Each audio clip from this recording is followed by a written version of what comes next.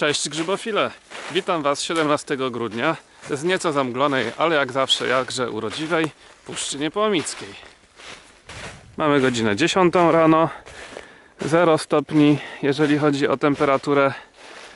Dzień niestety, jak widzicie, dosyć pochmurny. No ale cóż, miejmy nadzieję, że nie będzie to przeszkodą do znalezienia jakichś grzybów, a tym bardziej, że nie będzie to żadną przeszkodą w przyjemnym leśnym spacerze. Oczywiście zarówno ze względu na datę, którą mamy, jak i miejsce, w którym jestem, priorytetem będą poszukiwania grzybów nadrzewnych. No bo akurat w Puszczy Niepołomickiej o tej porze roku raczej bym na jakieś e, jadalne grzyby naziemne nie liczył. Mm, Przynajmniej w tej części puszczy nie mamy za bardzo na przykład sosen, więc odpadają choćby wodnichy późne. Natomiast grzyby nadrzewne są jak najbardziej prawdopodobne, bo martwego drewna, jak zapewne wiecie, mamy tutaj naprawdę pod dostatkiem. Trzeba się tylko porozglądać, no i liczyć, że nikt mnie tutaj nie ubiegł. Bo o ile zimą oczywiście grzybiarzy jest mniej, no to jednak tak w pobliżu miejscowości jeszcze, czyli tutaj gdzie jestem teraz, jak najbardziej te bardziej popularne grzyby zimowe mogą być zbierane. Mam tutaj na myśli głównie boczniaki, bo to chyba są najbardziej rozpoznawalne grzyby właśnie z tych zimowych gatunków. No a z tych trochę mniej popularnych, mniej powszechnie znanych ludziom, no to w grę oczywiście wchodzi jeszcze na przykład e, płomiennica zimowa, czyli zimówka aksamitnotrzonowa inaczej, czy choćby uszaki bzowe.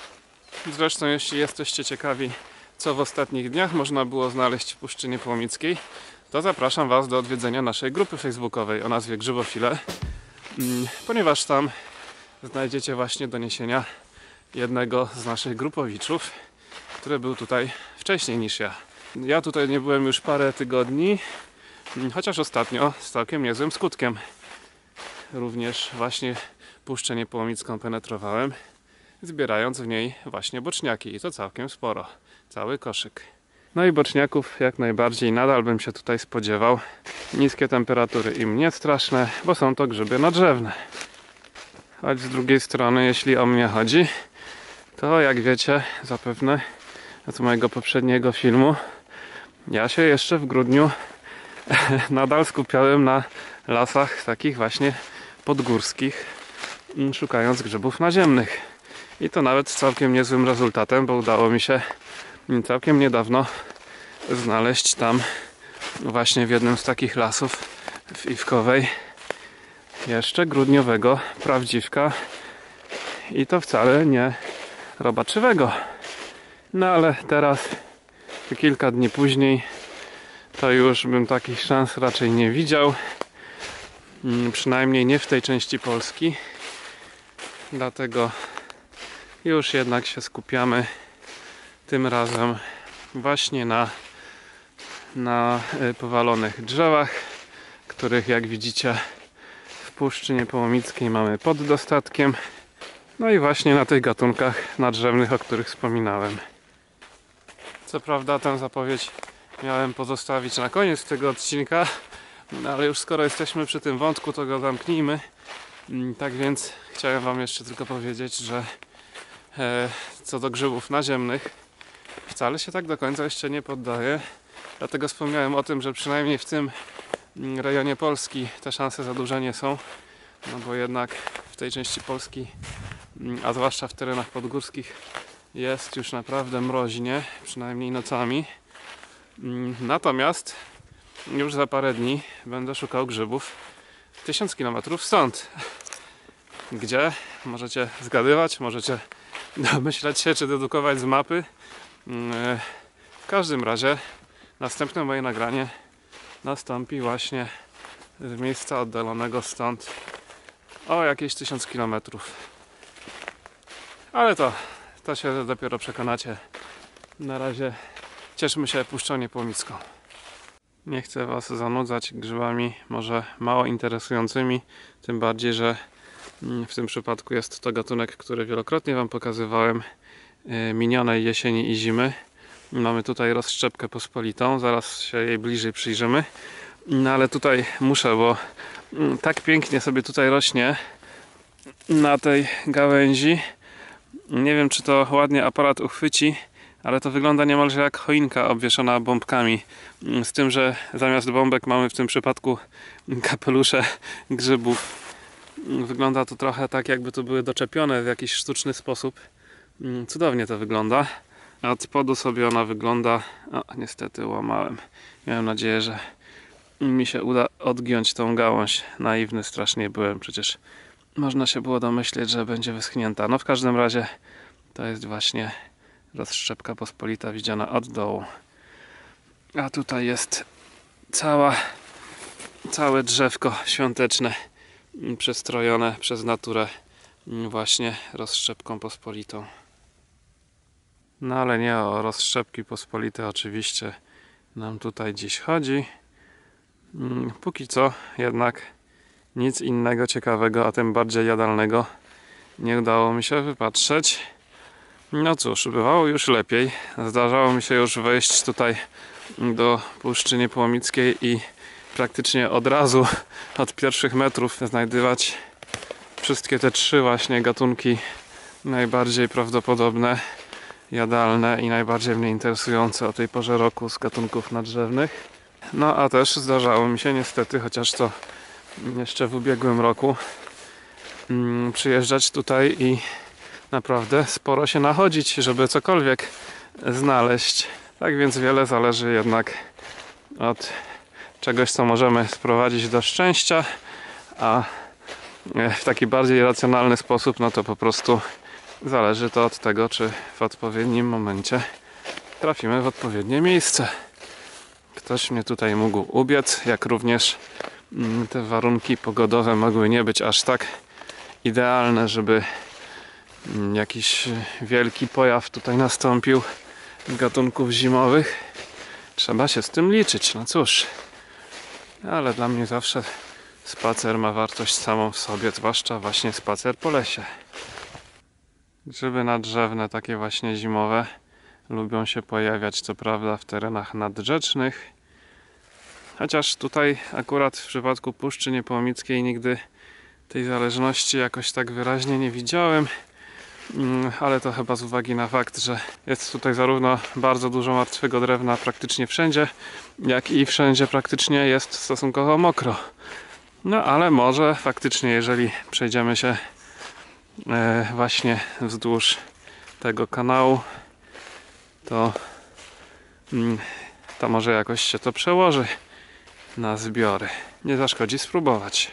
Teleportowałem się właśnie nad taki mniejszy ciek wodny. Nie jest to górski strumień, no ale jakaś jego namiastka, więc cieszmy się nim tak jakby to był górski strumień. Dobra, jestem cały i zdrów. Poszukamy sobie tutaj, bo tutaj też mamy sporo martwego drewna. Jeszcze bardziej podmokły teren. E, Na dodatek ściółka jest tutaj mm, mokra, a nie zmrożona jak tam wcześniej. Czyli jest to krótko mówiąc trochę cieplejszy rejon lasu. Co oczywiście znaczenie nawet dla grzybów nadrzewnych ma. Więc również tutaj staram się znaleźć miejsca takie troszkę cieplejsze. Zwłaszcza widząc, że póki co nie jest tutaj najlepiej, jeżeli chodzi o występowanie grzybów. Mówiąc delikatnie. No ale cóż, bywa i tak. Mamy oczywiście różne grzyby nadrzewne, ale nie jadalne i nas dziś nie interesujące. Chociaż jeżeli coś rzadkiego się pojawi, jakiś rzadki gatunek nadrzewny, nawet niejadalny, czy to może pospolity gatunek, ale mm, tak urodziwy, e, o tak urodziwych owocnikach jak właśnie tamta rozszczepka pospolita, to jak najbardziej go Wam chętnie pokażę. Swoją drogą, z Waszych komentarzy wiem, że część z Was zniechęca się do odwiedzenia Puszczy Niepołomickiej, a przynajmniej tych jej rejonów, właśnie mnogością tych kanałów, strumieni, cieków wodnych, jak zwał, tak zwał. No i nie dziwię się, bo są one naprawdę dosyć nieprzewidywalne, bo widzicie, Tutaj mamy niby całkiem okazały i długi, y, długie koryto. Niby właśnie jakiś strumień, ale on wcale nie płynie, bo zobaczcie, tutaj się po prostu kończy. Urywa się ślepo. Można go sobie spokojnie ominąć, ale są też takie miejsca, gdzie nie jest to możliwe, jak też takie, gdzie e, ten, e, ta woda jest po prostu szersza. To koryto jest na tyle szerokie, że nie da się go przeskoczyć, tak jak tutaj mm, robiłem przed chwilą, tylko trzeba szukać jakiegoś obejścia. No i faktycznie może to być pewnym utrudnieniem, ale po prostu trzeba to mieć na uwadze. Ja po prostu uwzględniam w swoim planowaniu czasu, jaki zamierzam poświęcić na eksplorację puszczy, właśnie te małe utrudnienia. Mam je na uwadze, jestem na nie przygotowany i są one jak najbardziej do przeżycia. Można tyle poświęcić. Mm, Troszkę właśnie czasu na lawirowanie różnymi trasami opuszcza. Zdecydowanie na to poświęcenie zasługuje swoim pięknem naturalnym. Nawet jak nie ma grzybów. No ale tutaj mamy coraz więcej martwego drewna, a jednocześnie jestem coraz bardziej oddalony od zabudowań. No i też dzięki mijaniu tych kolejnych cieków wodnych są to miejsca, trafiam w miejsca teraz coraz bardziej niedostępne. Więc mam nadzieję, że również szanse na znalezienie w końcu jakiegoś boczniaka, płomiennicy czy uszaka rosną. No naprawdę, jeżeli w tym miejscu w puszczy e, wśród tak olbrzymiej ilości zalegającego na ściółce drewna nie znajdę chociażby śladów płomiennicy zimowej czy boczniaków ostrygowatych, no to to będzie chyba jakiś sygnał sprowadzający mnie na ziemię i dający znać, że no niestety trzeba będzie się pogodzić mm, z porażką, jeżeli chodzi o zbiory i po prostu wrócić tutaj innym razem. Może właśnie po dłuższym okresie ciepłych dni i nocy niż teraz. No bo to nie jest naturalne dla puszczy, żeby żeby w ogóle nawet śladowych ilości tych grzybów nie udawało się znaleźć, gdyby one były, gdyby się pojawiły. Znaczy w tym roku, jak mówiłem, już się pojawiły, bo już się tutaj zbierałem, ale to było już jakiś czas temu.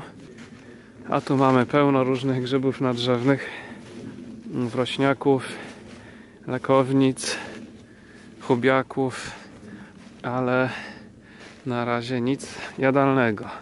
Żadnych blaszkowych grzybów. Znaczy właśnie uszaków brzowych na przykład. No cóż, no cóż, bywa i tak. Nacieszmy się więc chociaż urodą grzybów, chociażby tego wrośniaka różnobarwnego. To chyba odpowiedni moment, żeby przypomnieć, że oczywiście wszystkie gatunki grzybów, które Wam pokazuję, nie znajdziecie w moim internetowym atlasie grzybów grzybofil.pl. Najłatwiej wyszukacie interesujący Was gatunek wpisując jego nazwę, a nazwę zawsze Wam podaję, mm, pokazując Wam owocniki konkretnego gatunku. Tymczasem szukamy dalej. Tymczasem coraz odważniej wygląda słońce i w puszczy robi się coraz ładniej.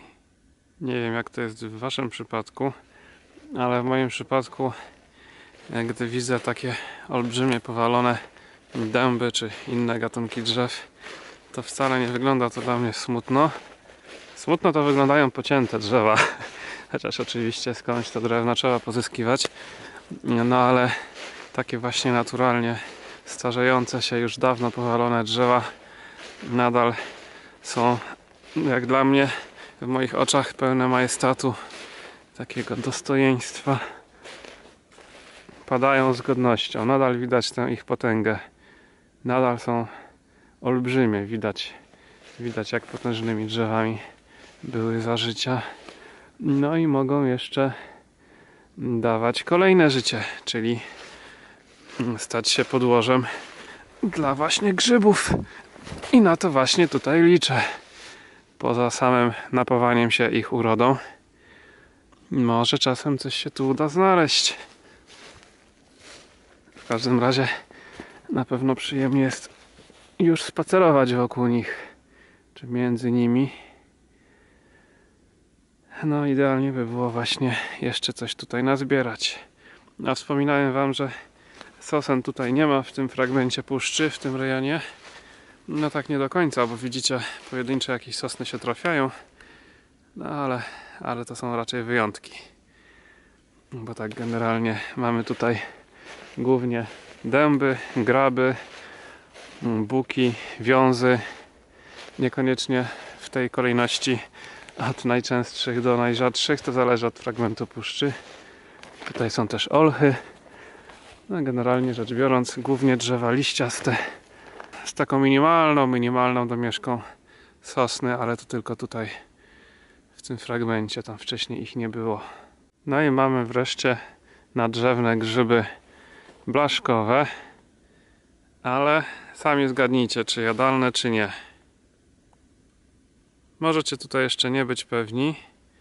Od góry, no to zależy od wybarwienia konkretnych owocników też. Może to nie być takie jednoznaczne. Natomiast jednoznaczne jest, gdy zobaczymy trzon. A trzon jednoznacznie nam wskaże, że nie są to boczniaki, bo boczniaki nie miałyby tak właśnie wyglądającego trzonu w kolorze pomarańczowym, wyraźnie odcinającego się od blaszek. Mm, tutaj ewidentnie boczniak to nie jest. No i kolor kapelusza, który jest dosyć zmienny. Mm, e, w tym przypadku może być zielonkawy, co u boczniaków się nie zdarza.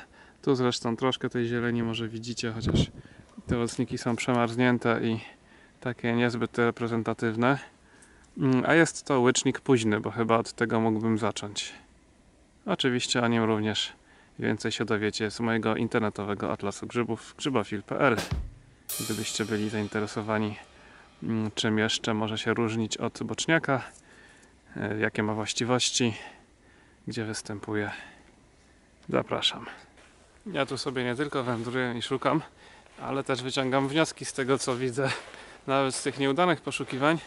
Mm, I sytuacja wygląda moim zdaniem tak, że skoro łyczników późnych jest tutaj naprawdę sporo, one raczej równocześnie z boczniakami owocnikują, mm, a jednocześnie żadnych boczniaków, nawet takich bardzo starych nie znajduję, a jedynie właśnie łyczniki późne z tych podobnych gatunków grzybów. No to chyba by wskazywało na fakt, że jednak boczniaki są tu po prostu zbierane.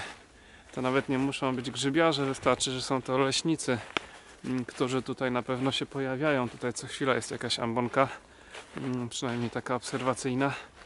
Tak więc chyba wygląda na to, że, że za bardzo sobie boczniaków tutaj nie nazbieram. Nie tym razem chyba. No ale cóż.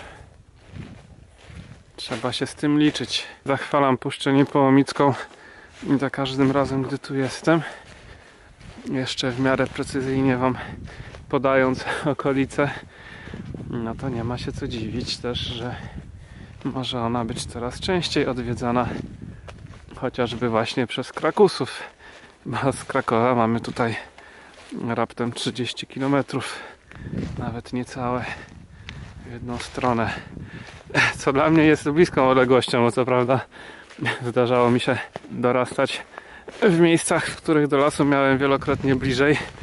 No ale przypadku Krakowa to jest całkiem rozsądna odległość od domu, mm, by pojawić się w lesie naprawdę bardzo ciekawym, bardzo urodziwym i nawet dosyć grzybowym przeważnie. No ale właśnie, nie zawsze. Różnie to bywa. Tak więc wszyscy ci, którzy narzekają chociażby na naszej grupie, mm, uskarżają się na niepowodzenia, że nie mogą znaleźć boczniaka czy płomiennicy. No to teraz mówię do Was, głowa do góry, bo jak widzicie, to nie jest nic nadzwyczajnego, nawet w lasach, w których te grzyby wiem przecież, że występują, bo je tutaj zbieram. No to jak najbardziej może się zdarzyć moment, w którym te zbiory się nie powiodą. Zawsze trzeba być na to przygotowanym i też nie ma się co tym zniechęcać. No bo to może być nawet niezłe miejsce, a jedynie gorszy moment. Już się zaczynałem zastanawiać, czy nie zacząć nagrywać powrotnego nagrania mm, kadrów, ujęć zapowiadających mój odwrót. A tymczasem okazuje się, że jednak z pustymi rękoma nie wrócę. Widzicie już, co tutaj mamy? Nie boczniaki. Boczniaków to takich zadań to bym wam nie, nie stawiał do wypatrzenia owocników z takiej odległości w takich kolorach jak boczniaki. Ale te to mogliście zauważyć z oddali. Oczywiście mamy płomiennice zimowe. No nareszcie. Nie za duża kępka, no ale jest. Takie nie za stare, nie za młode. Śliczne. Dorodne. Super sprawa, chociaż tyle. Zresztą jak się dobrze przyjrzeć to znajdziemy ich tutaj więcej. Bo są jeszcze tutaj. Ale tutaj jest jeszcze młodsza kępka. Taka skryta troszeczkę. A to to mogłyby sobie jeszcze podrosnąć. Tutaj chyba była kolejna, ale już została wyżarta. Najwyraźniej. Kapelusze zniknęły. Tu zresztą to samo. Też były, ale zostały same trzony. Mm, tutaj jeszcze mniejsze. Jak widzicie, tu mamy śnieg właściwie, czy lód. W każdym razie ten pniak jest mocno zmrożony. Właściwie nie pniak, tylko powalone drzewo. Ale czy ja dobrze widzę? Czyżby tam był dużo większy sukces? Bateria jest na wyczerpaniu. Mam nadzieję, że teraz mi się aparat nie wyłączy. Spójrzcie. No, drodzy Państwo. O to chodziło. O to chodziło. To już dużo lepiej wygląda. No, opłaciło się jednak wędrować. No świetnie. Tutaj to jednak wyraźnie widać, że trochę tych pomiennic będzie. Jak najbardziej. Oj, będzie, będzie. Przynajmniej najmniejszy koszyczek, który czeka na mnie w samochodzie, uda mi się tymi kapeluszami najprawdopodobniej wypełnić. No bo w przypadku płomiennicy zimowej to właśnie głównie kapelusze wchodzą tutaj w grę, ponieważ trzony są łykowate, ale oczywiście trzony również są jadalne. No i trzony, jak widzicie, charakterystyczne, jeśli jeszcze nie zaznajomiliście się z tym gatunkiem, czy to w moim internetowym atlasie grzybofil.pl, czy to na moich filmach, no to tak na szybko Wam pokazuję, że mają tutaj wyraźnie ciemne trzony od dołu ku górze. Czyli ku górze mogą one być coraz jaśniejsze, zwłaszcza u młodych owocników, widzicie, są jeszcze dosyć jasne.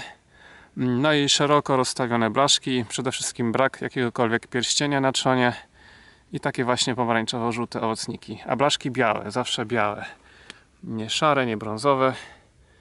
Chociaż tak jak mówię, jak chcecie się upewnić z czym możecie je pomylić i jak uniknąć pomyłki, to znajdziecie je na moim portalu grzybofil.pl Tak oto moje grzybiarskie ambicje zostały dziś jak najbardziej zaspokojone mm, i nawet w tym całkiem sporym koszyku te zbiory wyglądają wcale nie najgorzej.